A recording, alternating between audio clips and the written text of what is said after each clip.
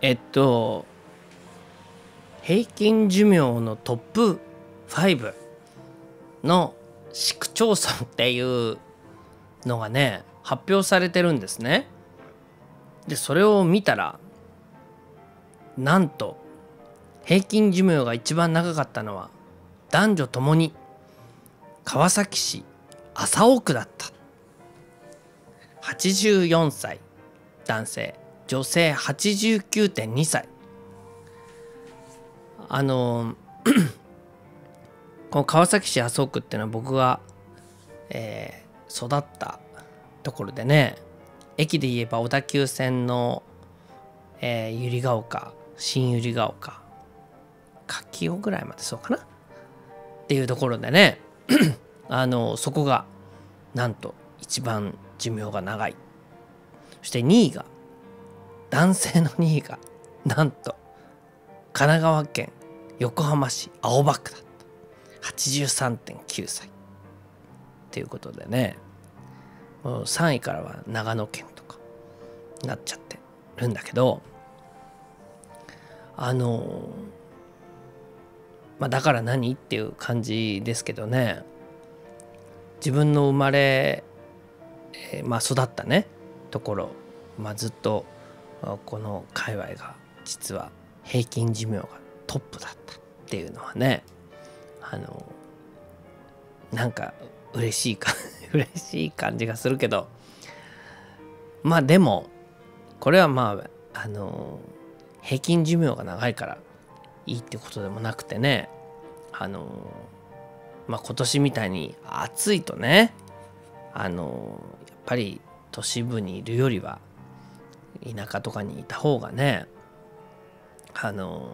メリハリもついていいしね。あのこのまま気温が上がって平均気温が50度とかになったらどうすんだろうね。そうならないとも限らないでしょ今年のような暑さで。ねえもう6月ぐらいから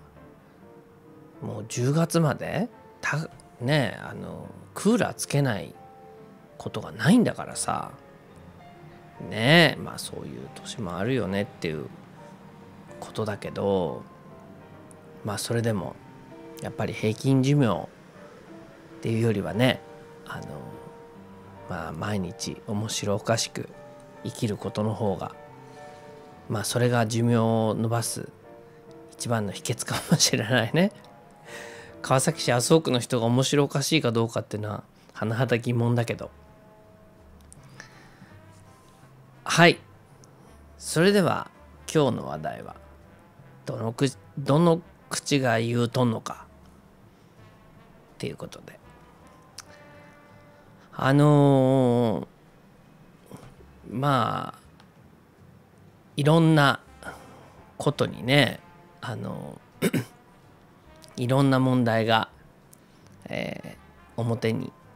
出てきていますね今あのその暴露大会みたいになってまあそれはあの今まであの隠していたようなことをねあの今 SNS もあったりするからあのみんなぽいぽい喋ってるよね。うん。あの製薬会社が実はこうだったんですとかね。あの政府の人がこうだったんですとかね。あのまあ芸能事務所がこうだったんですとかね。まあそういうことをまあいろいろ言ってるよね。でそれに対して批判が「えそんなことをしてたなんてけしからん」ってまた言ったりしてるけどね。あのこれまともな人が見てたらどの口が言うとんのかって思う思うよね。普通なら。だってあのだってそうじゃない。知らなかったんですって。どの口が言うとんねんと。ねえ。そんなけしからん。っていうのもどの口が言うとんねんと。だ同じ口で、えまあ全く真逆のことを言っている大人が多い。いやまあ何でもそうですよ。あのねあなたの命をや健康を大事にしましょうって言ってるのはね健康を害すことになっていたり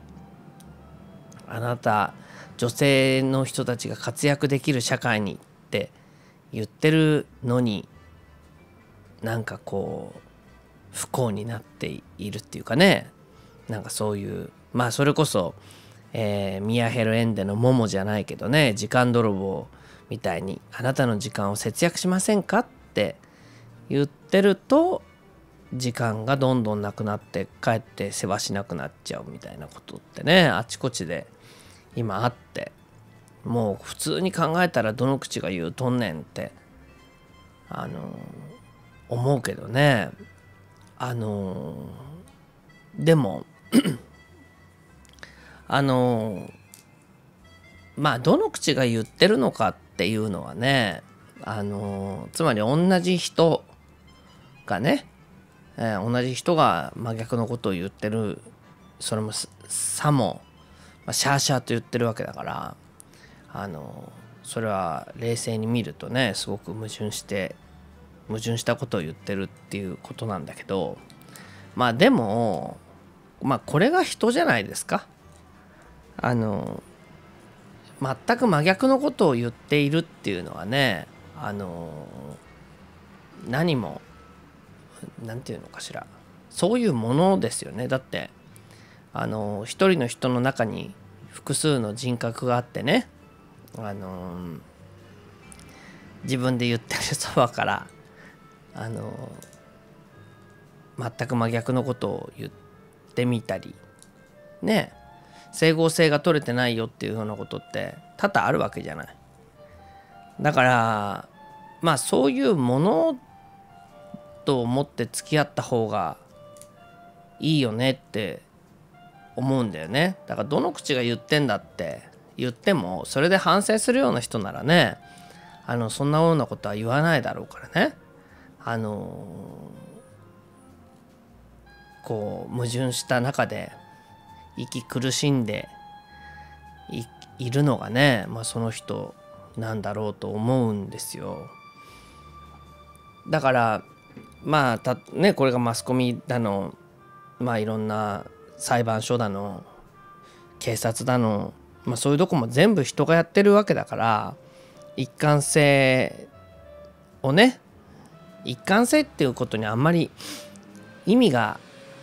ないんじゃないかなって僕なんかは思うんだよね。もう全てはプロレスだから。だってねあのまあここだけの話をするとねあの今あの九州のね九州に、えー、今福岡の方に通っていてそこでお店を今やろうとしてるんですね。でこれはまあもともとあった既存の建物、えー、それをまあリノベーションしてあの中をフルリニューアルして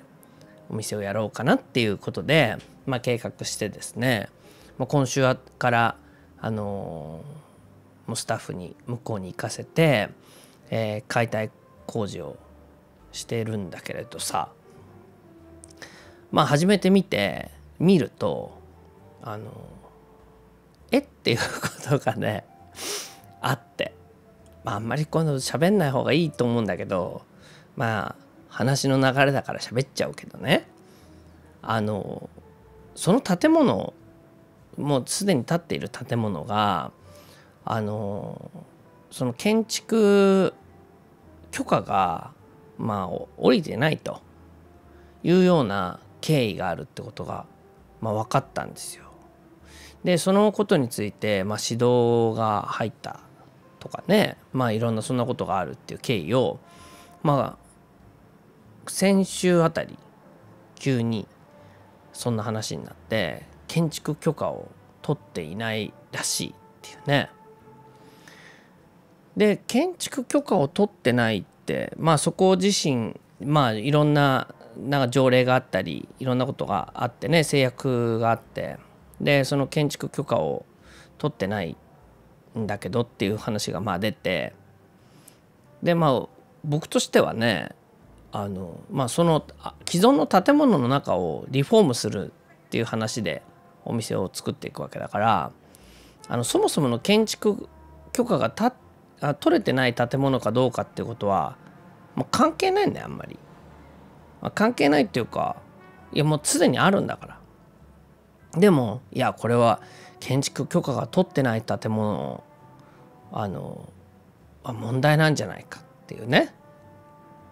考え方がもちろんあって。じゃあ建築許可を取るか取らないかっていうことなんだけどあの建築許可が取れてないとしてもあの、まあ、それもよくわかんない。あのあの条件状況は変わるからね。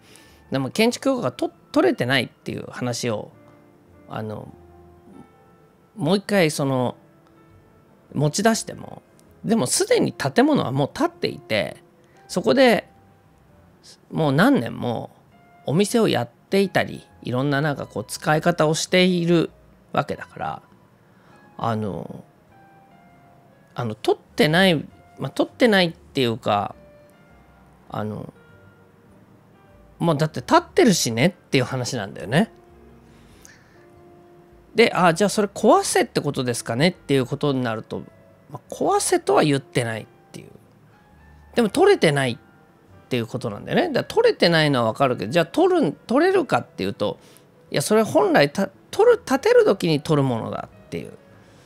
あまあまあまあそうですねと。まあでもじゃあと立ってますけどっていうと困るんだよな。立ってる時に立てる時に取ってくんないとって。はいはいはいはい。でまあじゃあどう取ったらいいんです？いやもうそれ今立っちゃってるからね。今から取るって言ってもね っていうことをね。が例えばあったりして。でそこの中の中をリニューアルしてお店を作るっていうところの話とはま関係なくその建築の話があってさ。あまああるわけじゃない。でそこになんかその道路がなんかね隣接してる必要性があるっていうけどまず道路を作るだって数年かかっちゃいますねとかって。まあそもそもそれは自分たちで道路作るわけじゃないからね。市役所かなんかに言って、まあ、道路計画に組み込んでもらうとか、まあ、そういうようなことがまあまあ例えばあるとするとあのえって思うことはあるよね。あの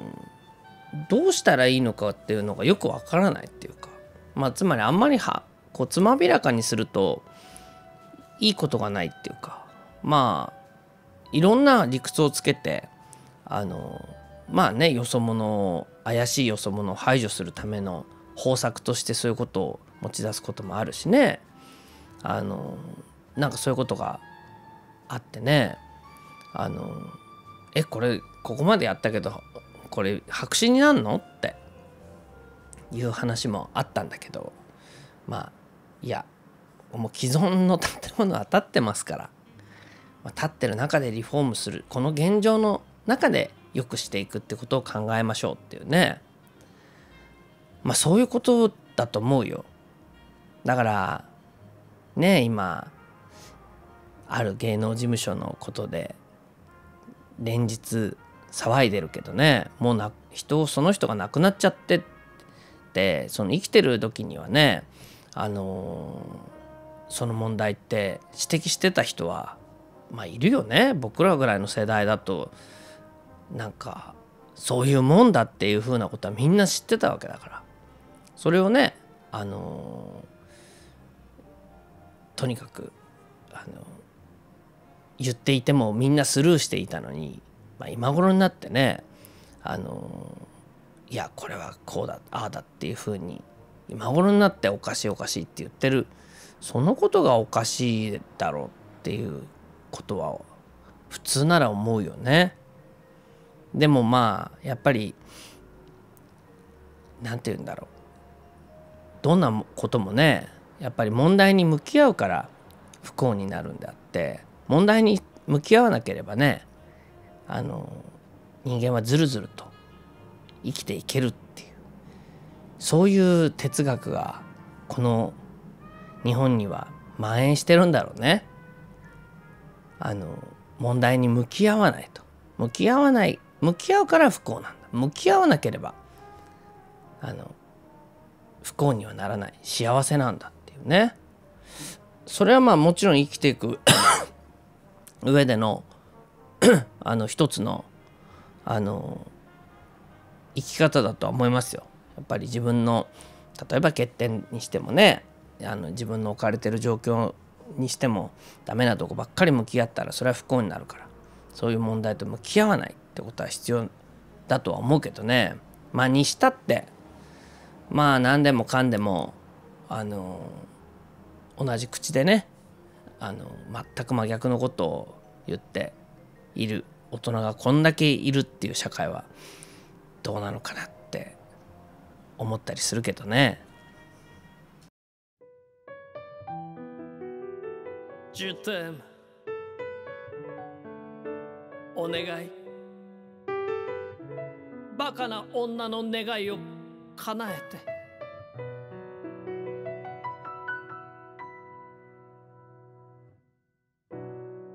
中の中目こととい。共に歩いた街角。浜辺窓辺おひたし。メカジキのお団子。築地佃勝ち時。遠くビルはかすむわ船に一人海風一人向かう神奈川。カツオにはわさびカツに練り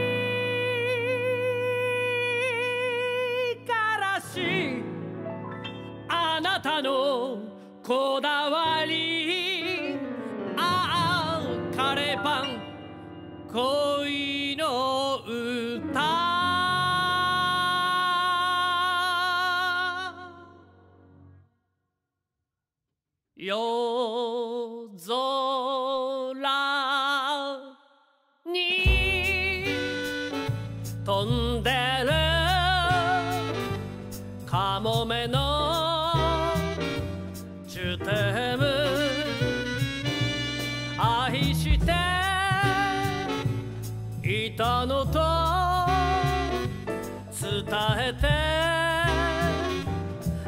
ジュテム言えずに